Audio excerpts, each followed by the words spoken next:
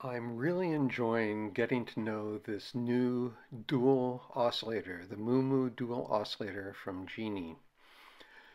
It is way different than the dual oscillators I know, like the DPO from Make Noise or the Instruo CSL, or even the granddaddy of all dual oscillators, the Buchla dual waveform generator uh, number 259.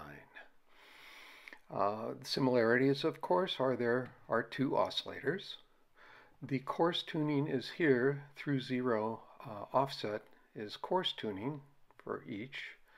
This is fine tuning, and this sweeps over one octave for each one.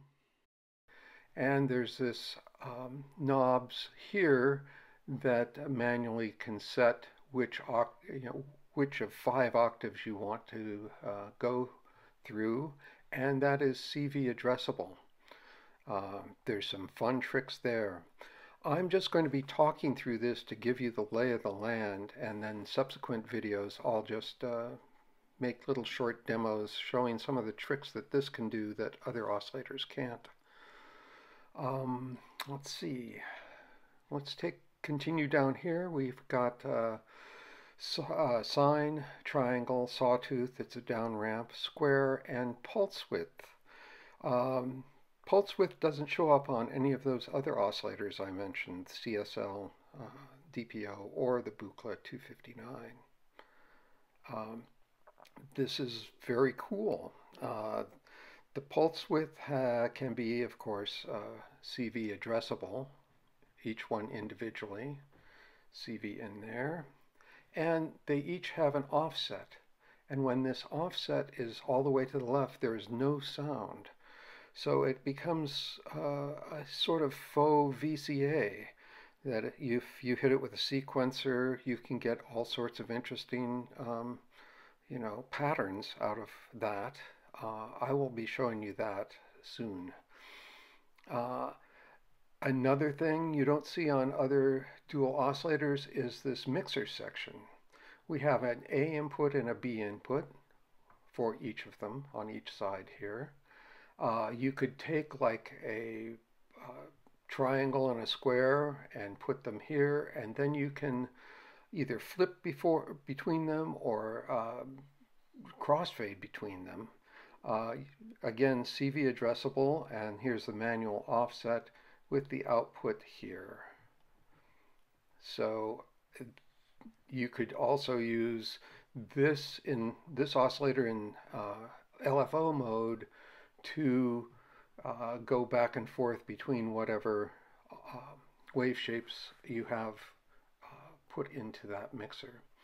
Of course, you can put external sounds in here and you can use external sequencers or LFOs to uh, mix that let's see, over here we have sync inputs. We have uh, exponential FM inputs. These are one volt per octave. And then we also have through zero linear FM. Uh, this is really wonderful sounding and of course keeps everything tuned up even though you might have a wonderful uh, uh, rich uh, timbral FM sound. So here's our offset for through zero FM. And the other thing that other dual oscillators don't have is a noise section. We have filtered noise here. This is our noise uh, cutoff and our noise resonance. And you have low pass filter, band pass filter, and high pass filter. Oh, and while we're here, there's a little button there uh, if you uh, press and hold it, it toggles between soft sync and hard sync for whatever you have going on there.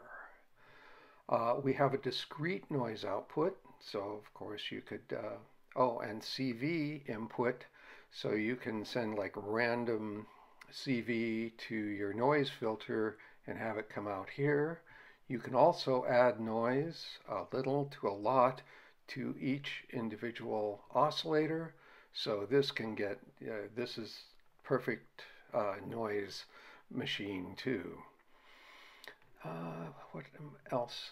I think that covers the basic overview. Again, what sets this apart is um, pulse width waveform and uh, noise and octave jumping CVable and this wonderful mixer section on each side.